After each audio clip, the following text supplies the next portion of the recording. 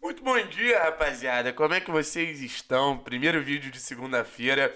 Eu acho que ele não poderia ser diferente, ao não ser destacando a semana gigantesca que o torcedor do Atlético vai ter, que o Clube Atlético Paranaense vai ter e, melhor ainda, que o Clube Atlético Paranaense merece ter. Vamos, vamos passar pela agenda do Furacão? Semana de decisão na Libertadores, jogo em casa contra o Libertar, jogo que vai ser muito importante para se construir uma vantagem, pensando até mesmo no confronto do Paraguai, sabe?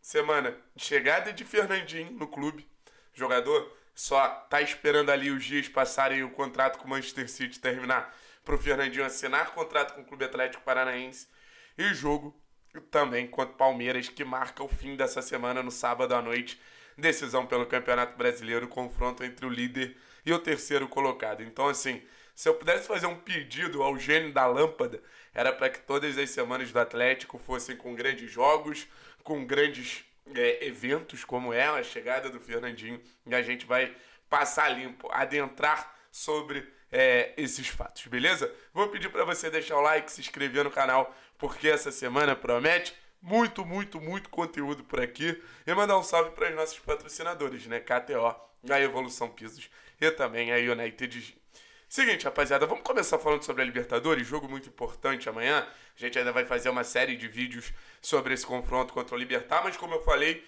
confronto muito importante para o Atlético já é, construir uma vantagem na primeira partida, né? Eu acho que essa é a grande, esse é o grande mérito quando você começa essa decisão de dois jogos em casa. Lembrando que é um confronto de 180 minutos, então, é, independente do que acontecer na Baixada, nada vai ser decidido na Baixada. Ah, se for 4 a 0 Atlético, irmão, é, Libertadores já teve viradas históricas. Então, é, dá o primeiro passo na Arena da Baixada contra um time que a gente já conhece por ter enfrentado na, na fase de grupos. Conseguiu um bom resultado na Baixada, mas lembrando que naquele jogo a gente teve muita dificuldade para construir mediante as linhas baixas. É, basicamente a retranca do Libertar. E eu não imagino algo diferente, sabe? Lembrando que todo mundo tem internet hoje no mundo, o Libertar sabe que o Atlético ele vem nessa fase maravilhosa de 11 jogos sem perder, então eles também não vão querer correr riscos, vão querer se manter vivos para levar o jogo lá pro, lá pro Paraguai para a segunda partida. Então, imagino linhas baixas, imagino um time tentando picotar o jogo naquele famoso jogo de Libertadores. Aí é, entra a experiência de Luiz Felipe Scolari como um personagem que é histórico dentro da competição para orientar esse grupo não cair na pilha do time do Libertar sabe? E também levar em consideração a maturidade que o Atlético ele vem adquirindo nesses últimos jogos, né? É um Atlético assim que, conforme as vitórias, os resultados positivos vão acontecendo, o mental do time naturalmente melhora também. Então é um time mais preparado para as adversidades, mas é, não vai ser suficiente só um bom mental. A gente vai ter que mostrar principalmente repertório ofensivo com as finalizações de longe, com uma boa bola parada, com aproximação dos jogadores, muita troca de passe para ter paciência e a paciência ela também tem que vir da arquibancada para fazer o gol nesse, nesse Libertar que promete um, um bom ferrolho ali, sabe? Então, se o Atlético fizer um gol logo no início do jogo, assim como foi contra o Bragantino, acho que os caminhos vão ser naturalmente mais fáceis de, de construir uma boa vantagem, né? Já que você obriga o time adversário a sair, você gera espaço, você condiciona o jogo, mas mesmo assim não dá para garantir que o Atlético vai conseguir é, esse gol logo no início. Importante também é a gente não sofrer gols para não passar uma confiança pros caras. Os caras tem que ficar acurralado, mano. A gente sabe que o Atlético não é o time que joga com tanta posse de bola, mas os caras têm que ficar lá atrás quietinho na deles e o Atlético se impondo, o Atlético sendo dominante. A gente sempre fala que no jogo você tem a fase que você domina, a fase que você é dominado e a fase que você compete. A fase que você compete, a fase que você domina, tem que ser grande maioria para Atlético nessa partida, sabe? Então, alguns titulares voltam em relação ao jogo contra o Bragantino. Vai ser muito importante todo mundo ali num bom dia para que o Atlético faça, sei lá, dois, três, quatro gols, quem sabe. Acho que a gente vive um momento de confiança muito grande, sabe? É, deixar claro que é, o Atlético ele não passa de uma oitava de final de Libertadores desde 2005, então qualquer vantagem no final das contas é positivo.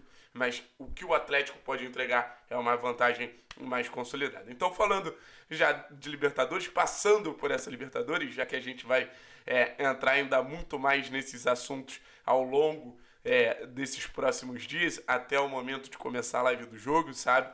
É, agora vamos falar sobre o Fernandinho, né? O Fernandinho já se encontra em Curitiba, alguns colegas da imprensa, acho que foi o Monique Vilela que deu a informação que o Fernandinho ele já está na cidade. Existe a expectativa do anúncio, existe a expectativa desse retorno, que eu acho que vai ser um banho de autoestima para o torcedor do Atlético, sabe? O torcedor do Atlético que historicamente ele vê o mercado de transferências sendo muito mais o bom, bonito e barato em 2022 se muda o patamar e se muda o patamar de maneira significativa. E eu acho que a comprovação disso é o Fernandinho. É um time que, é, em três oportunidades, superou a maior contratação da história, né? Chegada do Coelho, depois a chegada do Canóbio, depois a chegada do Vitor Roque. E agora um cara do quilate, um cara da qualidade do Fernandinho vai ser é, fundamental para esse, esse momento que o clube vive para a sequência da temporada também quando você con contrata o seu jogador mais relevante no elenco, o seu jogador mais é, importante, o jogador com mais currículo, o jogador com mais experiência, o jogador que mais agrega. Fernandinho, pelo menos na minha expectativa, ele chega para ser o melhor jogador do Atlético. Pode não ser o mais decisivo até pela zona que ele atua, né? É um jogador que é um volante, sabe? Então não vai ser o cara dos 15 gols e 25 assistências, mas vai ser o cara que vai trazer muita fluidez para o jogo do Atlético, então, assim, eu não quero vender falsas ilusões para vocês. O Fernandinho pode chegar aqui e não jogar nada. Mas eu confesso para vocês que eu duvido desse cenário, sabe? Eu acho que o Atlético ele tem é, ele tem todo o direito de o Atlético o atleticano sonhar com um cara que chegue e faça muita diferença, porque era um cara muito importante e a gente vê isso é nada mais nada menos do que nas declarações do Guardiola, né? Então, já deve estar tá na arena na terça-feira, imagino eu, vai ser mais um atrativo para um jogo tão grande e que o Atlético consiga superar essa maldição das oitavas e já, já consiga dessas boas-vindas ao Fernandinho para que a partir de então ele possa nos ajudar e nos ajudar muito. Deve precisar de um momento ali para entrar em forma ou pelo menos para é, passar todas essas férias, né? O cara que passou um mês sem jogar, ele precisa ali fazer uma academia, alguma coisinha, mas também não acho que o Fernandinho ele vai passar dois meses assim para entrar em campo. Mas o anúncio vai ser muito legal. Brasil inteiro falando do Atlético, a imprensa inteira falando do Atlético. Vai ser muito legal pro, pro sentimento do torcedor atleticano, pra autoestima do torcedor atleticano. E para terminar, não menos importante, eu quero deixar isso muito claro. Jogo contra o Palmeiras, né? Confronto contra o Palmeiras. O Palmeiras tropeçou contra o Havaí nesse domingo. A diferença entre Palmeiras e Atlético acabou diminuindo. O Atlético que vem fazendo o Campeonato Brasileiro surpreendente. Surpreendente por quê? Porque, por exemplo, eu não imaginava que a gente ia conseguir se impor daquela maneira contra o Bragantino, sabe? Então, vejo o Atlético é, conquistando uma relação melhor ali com o Campeonato Brasileiro. O que eu quero dizer com isso? Olhando para o Campeonato Brasileiro com outros olhos. Antes era só uma, uma aventura. Agora já fala, hum, isso aí pode dar uma relação. Porque supondo assim, vamos viajar.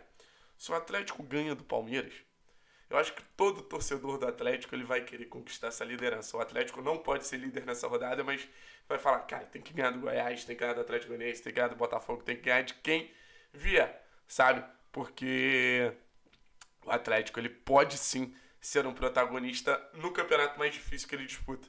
A Libertadores é um sonho, a Libertadores acho que é o campeonato de maior prestígio, mas o Campeonato Brasileiro é um campeonato muito difícil, mas é, não achando também que o jogo contra o Palmeiras vai ser fácil. O Palmeiras ainda é o melhor time do futebol brasileiro. O Palmeiras, é, nos seus domínios, tem muita força. O Atlético vai reencontrar alguns jogadores. Na teoria, já que a gente não sabe o que vai acontecer no meio de semana em relação aos dois times na Libertadores, então a gente pode ter até episódio de alguns personagens sendo poupados, mas o Everton, Rony, o Veiga tá voltando de lesão também.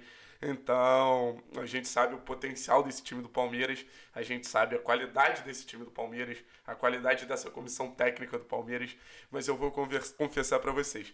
Desde que o Filipão chegou eu tô com uma parada na cabeça. O Filipão, ele vai dar muito trabalho para Abel Ferreira e companhia. Antes do português chegar, o Filipão é disparado o maior técnico da história do time Alviverde, mas agora acho que fica meio difícil concorrer, né? Enfim, rapaziada, resumindo toda a semana, uma semana muito importante, uma semana que vai ter muito conteúdo por aqui, uma semana de muita expectativa.